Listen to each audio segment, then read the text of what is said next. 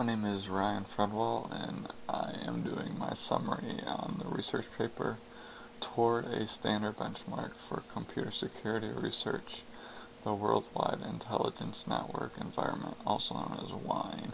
The article is by Tudor Dumitras and Darren Shou. The overview or some of the key words of this paper would be Worldwide Intelligence Network Environment WINE is a security benchmarking approach based on rigorous experimental methods, and a benchmark for, for computer security must necessarily include sensitive code and data.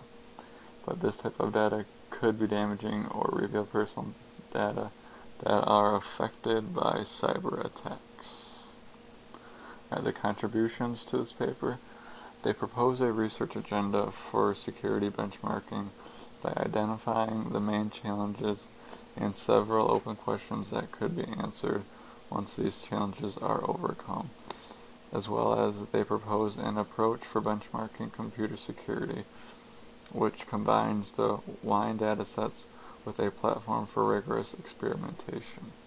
They explain WINE's data sharing model and they outline solutions to some of the key challenges for, for security benchmarking. The main questions of the paper. I'm trying to figure out how scam sites conceal their presence and move to avoid detection for lack of historical information on malicious URLs. Figuring out how to follow a security vulnerability over the course of its entire life from programming from a programming bug that evades testing through its stealth exploitation and zero-day attacks, its discovery and description in a public advisory. Also, the release of a patch for the vulnerability and of antivirus signatures. Answering these questions requires the analysis and the correlation of multiple datasets collected independently from diverse sensors. Right here we have the WINE data sets, we have the data sets here, the sources, and then the description. Some of the data sets would be the binary reputation, AV telemetry, email spam, URL reputation, and then malware samples. I'll not get into the description because that is a lot to read. So here is that. Some of the methods and results that I found in this research paper would consist of that they are currently developing a data storage and analysis platform which aims to ensure experimental repeatability by archiving snapshots of the data used in each experiment and by providing researchers with tools for recording all the information required for reproducing the results. WINE will include metadata allowing researchers to establish whether a, a dataset is representative for real-world cyber threats. And we got some more methods and results here. To achieve experimental reproducibility, they are currently building a platform for storing and analyzing the data. This platform enables data intensive applications by adopting a shared nothing architecture. For example, the binary reputation data set is indexed on both the hash of the binary and the download URL to, fa to facilitate the correlation of data with the AV telemetry as well as with the email spam and URL reputation data. This design will allow researchers to run experiments at scale. And we got one more page of methods and results here. The experimental platform allows querying the data sets using either ANSI SQL or MapReduce task for greater flexibility. WINE, WINE receives updates regularly from Symantec's collection of 240,000 sensors which are distributed worldwide.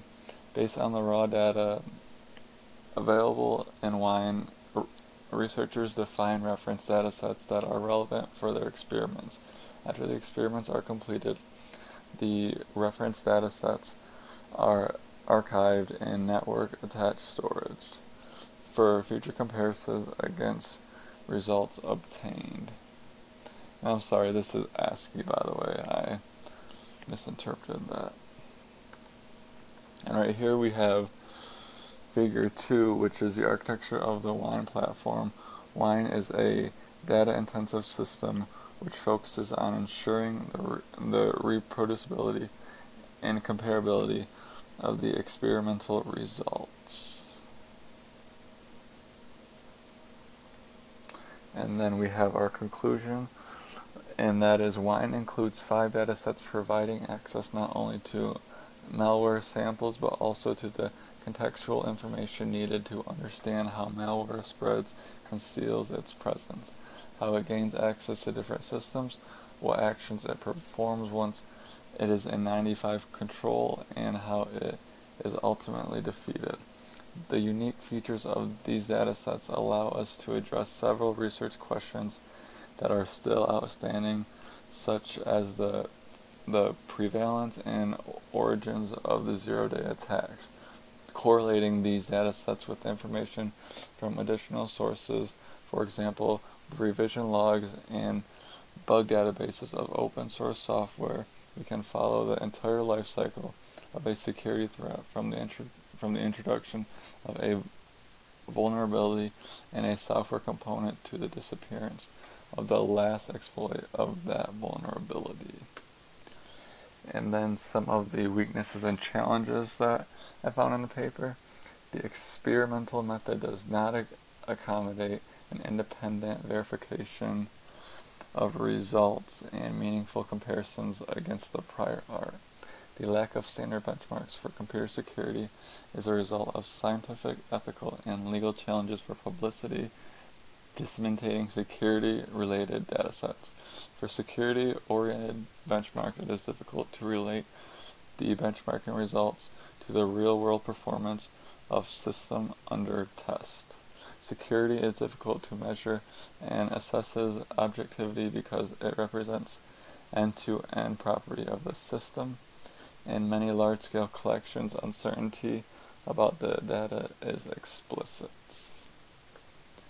And then this is my related article that I found. And that is it. Thank you.